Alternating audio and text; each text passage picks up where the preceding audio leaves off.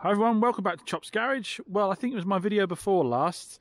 You saw me going to the main dealers, trying out several cars that were part exchanged in and seeing if we could get a deal together on them or not.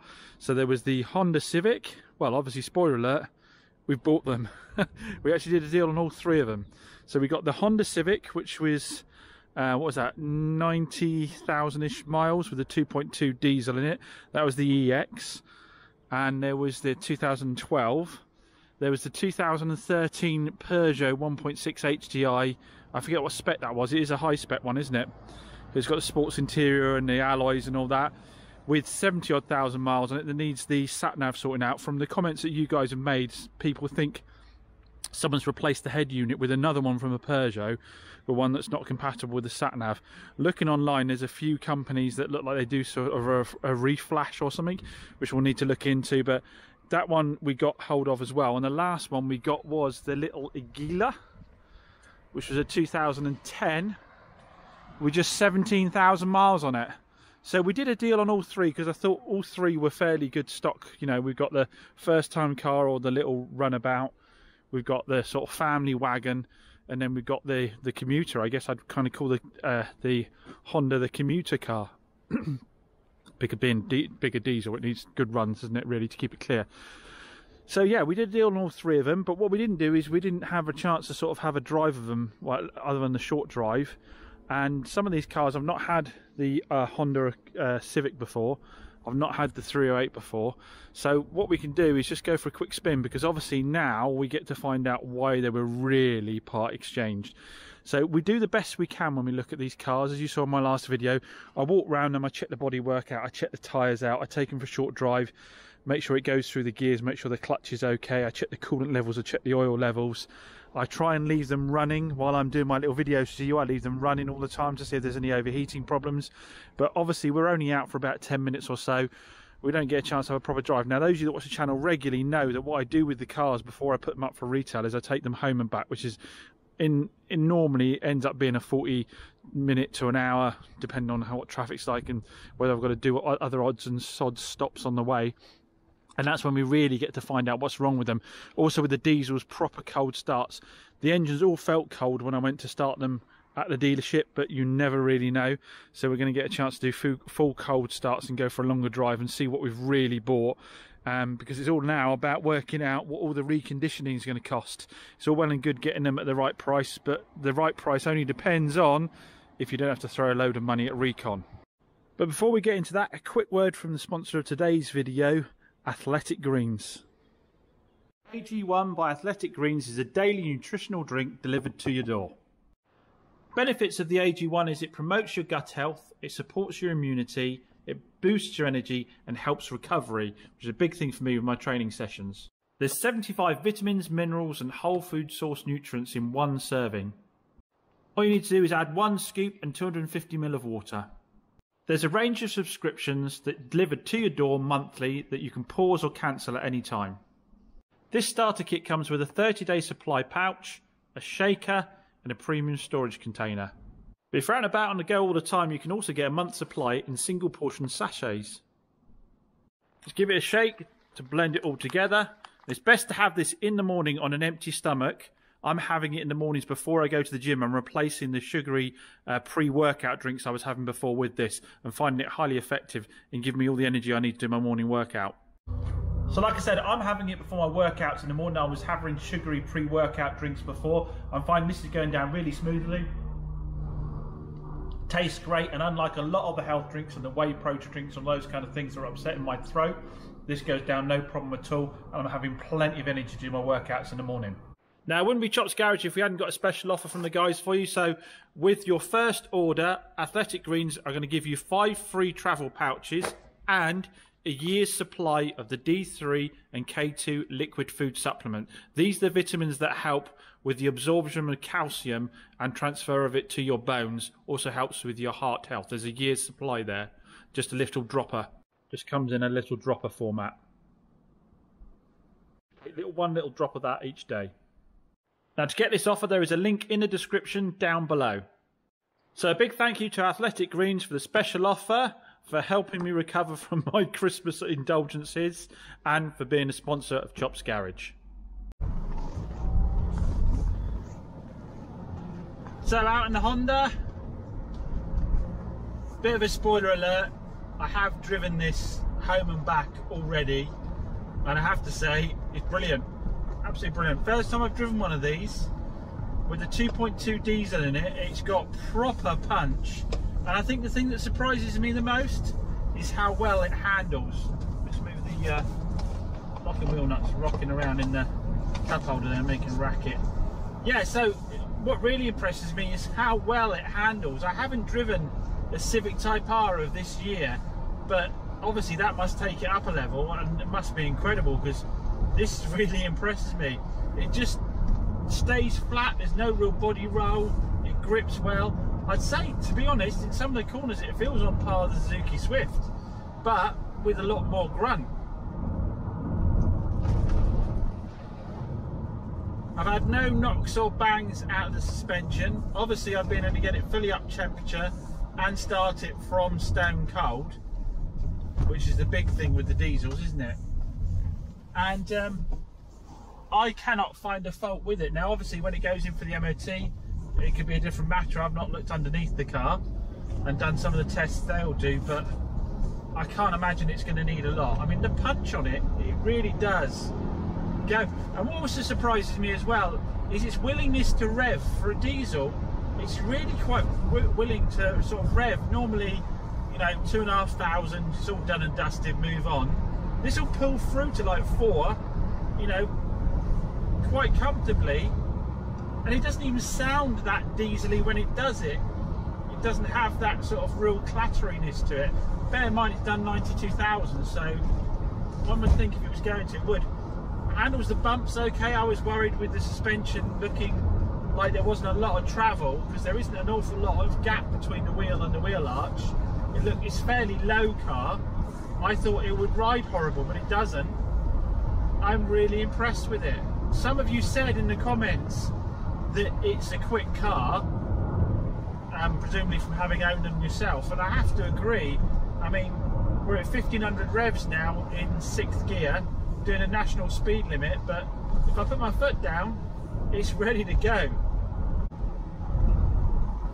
It may well be one of the most perfect combos of daily commuter that gives you decent miles to the gallon, but you can still have a bit of fun in it.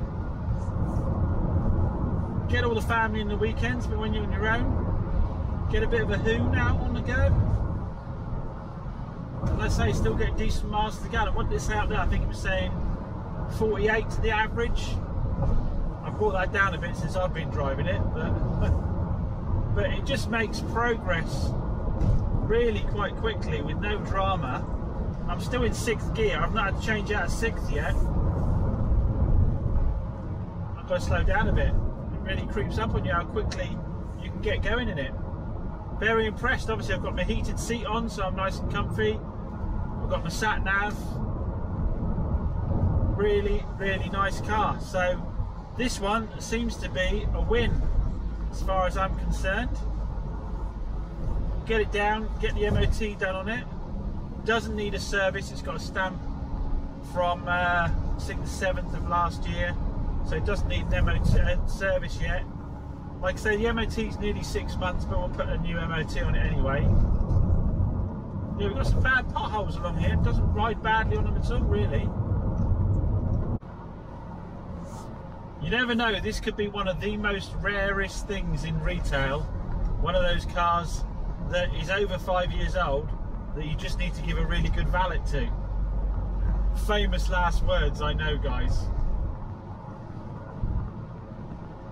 It's funny because the general public would like to believe that's the case with all the vehicles the dealers get in. They just throw a bucket over them and make a fortune out of them. But it's so rare to get a car that really just needs a good valet.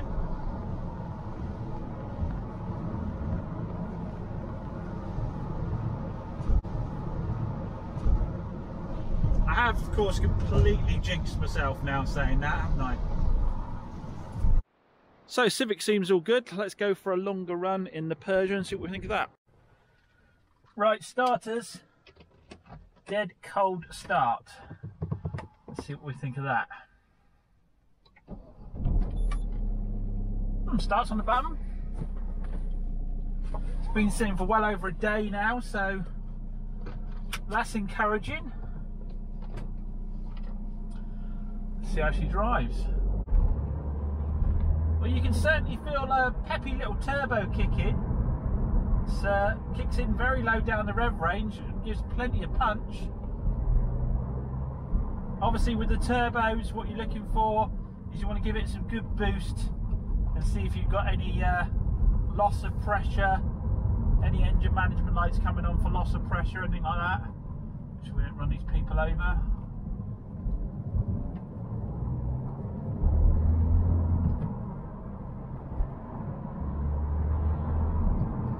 Turbo kicks in nicely, gives it a nice punch.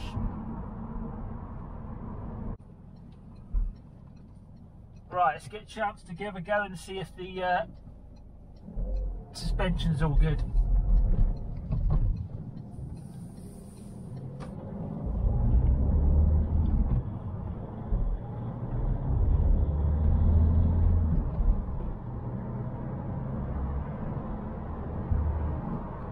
It's not quick, but it gets up to speed nicely enough. Already up to the national speed limit. Gearbox is fine, let's go through the gears nicely, we've got a six speed box. Tell you what, even in sixth, we've got a good bit of acceleration still happening there.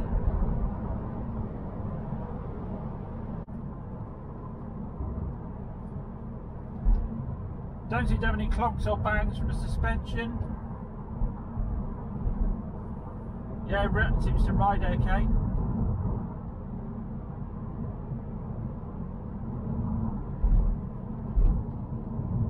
So what I'll do now is drive it on for another sort of 20 minutes or so and then turn around and come back by the time I've done that. I'll take it home tonight and back as well just to double check everything's okay on it. But initial signs are I didn't miss anything in my first test drive.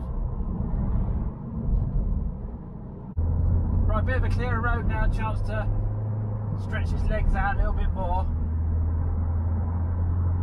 So there's nothing higher up the rev range. It's a problem. It's telling me I'm low on fuel there. Worrying beep as soon as you start accelerating hard, but it's just saying I'm low on fuel. I was worried those bigger alloys would make it quite, really quite harsh, but it's actually not too bad at all. Seems very composed with the corners. I said it feels genuinely nippy actually. I know I thought the uh, Civic was quick, but this actually still feels nippy back to back with it. That's in sixth gear as well. I just thought perhaps I'd left it in fourth, but it's in sixth. I guess it's a, a small car with all that diesel torque. It's going to feel fairly nippy, isn't it? So yeah, initial signs are that So yeah, Peugeot seems alright. No obvious reasons for part exchange with this one, other than possibly the whole sat nav thing. It's whether I throw money into getting the stereo checked out and then find it's the screen because it's not cheap to get the stereo done. I think it was 200, 250 quid. One of the symptoms was a blank screen on your sat nav, but I guess it's entirely possible the screen could go as well. Well, two out of three seem okay so far, so let's take the last one out. The little Agila. See what we think of that. Oh, that wind. Right, so in the little Agila, started out absolutely fine. It was, I did witter away to about it starting up, but I realised I hadn't hit record. Um, it's idling nicely, bang on. Didn't have any problem starting. It's got a strange smell to it. It's not damp, it's I don't know, I can't put my finger on it, but there is a little bit of condensation on the screen, so just need to get that cleared before we head off. So, screen cleared, we're out in Nigila. Now, I wasn't particularly nice about this when we last saw it on the channel, was I? I said it was just at Nigila and it was slow. Having done a few more miles in it now, I have to say it's no worse than the other 1.2. In fact, I'd actually say, like most of them, give it a little bit and then a bit of fun. You see it goes through the corners well there. I, in fact, I'd say it drives better than the last 1.2 Corsa I drove, which felt super slow. In fact, every 1.2 Corsa I've driven feels super slow. I don't know if these are a bit lighter, but it actually, you know, get it on the boil and it actually feels quite nippy. We're stuck behind the van now, though, aren't we? But yeah, temperature stayed okay. The clutch is a bit high, but it does have a receipt for a clutch, and these are manually adjusted on a cable. So I wonder if it just needs a bit of adjustment on the cable because it's certainly not slipping or get smelling or anything like that. Um, and the receiver, like I say, I think was from just a year or so ago. So it um, probably just needs a bit of a tweak adjustment wise. You don't notice it so much when you're driving normally, it's just when you set off from a standstill. The gearbox is all good. No crunching or anything there. I mean, obviously, we've only got 17,000 miles on it, but that doesn't mean things can't go wrong still. I say the engine seems strong, I guess, again, with that mileage. It's got all of its compression. It should be pretty much near factory figures for horsepower wise. I mean, yeah, bit of a hill here, fourth gear. It's still pulling up here. I'm surprised it's quite, like I said, it's quite light on its feet through the corners.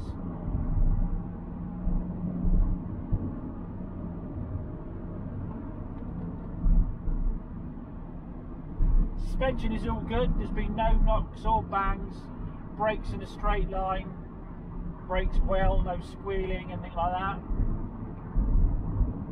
So, all the signs are that um, it may well be three out of three are decent motors. Obviously, the caveat to that is they haven't been down for MOT yet. So we never know what could happen when it goes down for the MOT. We could have emission issues on one any of the cars. I could have missed a broken spring, you never know. Sometimes they aren't that obvious to spot. We could have a, a rotten exhaust system, although none of them seem to be blowing. Obviously, even things like tyres, they can get expensive. So, um, yeah, next thing to do is get them in for their MOTs, see where we stand on them after that. Then they can get, you know, once we know it's worth spending a bit more time on them, we'll get them all valeted up, get them all for sale. It's very tempting to offer them out as trade sales because I think they'd all go out to various people quite easily, trade sales wise. I've got people in mind for each of them, but I actually think they're all good retail stock for me. I think they'll all do well. I haven't got a lot of stock at the moment going into the new year, so it's worth me worth me doing all of them. So the Honda and the Peugeot are dropped down for MOT with more. As soon as they're back, we'll swap it over for the Agila, see how we get on with that. You're going to see that in the next video, so make sure you're subscribed. Check below if you are or not, because you'll want to get a notification when the next video comes in to see how we got on with those. Don't forget, if you want to get nutrition back on track again, we've got that link for AG1 by Athletic Greens in the description down below, so go check it out. As always, massive thanks for watching. See you again soon. Bye.